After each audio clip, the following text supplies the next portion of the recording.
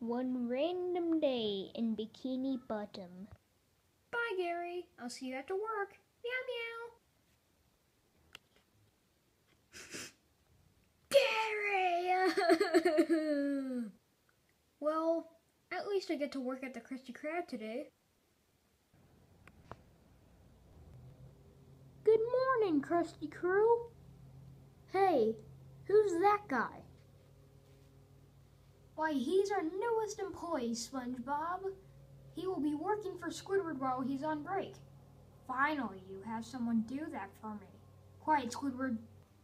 It was the least I could do for getting him fired from the newscast for crashing into him. Oh, so you're the old news guy. I was.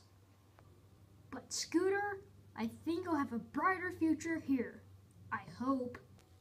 A few minutes later it's Plankton!